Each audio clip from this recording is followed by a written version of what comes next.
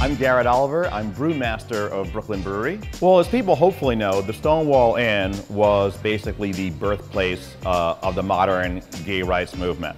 In 1969, there was a confrontation with the police, and finally the people who were there said, we're not backing down. And the Stonewall Inn has become not only a symbol, but it has the Stonewall Inn initiative to give back into the community. And uh, they came to us and said, would you make a beer uh, to go with Pride celebrations. We were like, oh yeah, of course. And as we've worked with them more and more, we're kind of realizing like, wow, this is a thing where we can really not only make a great beer, but put our money where our mouths are as people who are going to stand up for diverse communities and for everybody's rights to be themselves and also drink some really good beer at the same time. So we're super proud of that beer and think that it can go everywhere with us.